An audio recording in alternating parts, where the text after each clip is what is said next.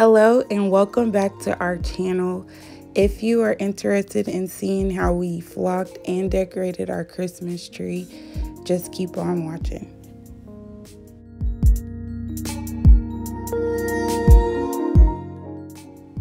Okay, so we um, got our tree out. We purchased this last year from the thrift store. Uh, the product that we use to do our flocking is this snow flock. Um, I will leave the link to this down in the description bar. Um, it's very simple to do. All you need is uh, the snow flock product. You need a spray bottle with water and like a sifter that you can put the product in and distribute it out. And it's very simple.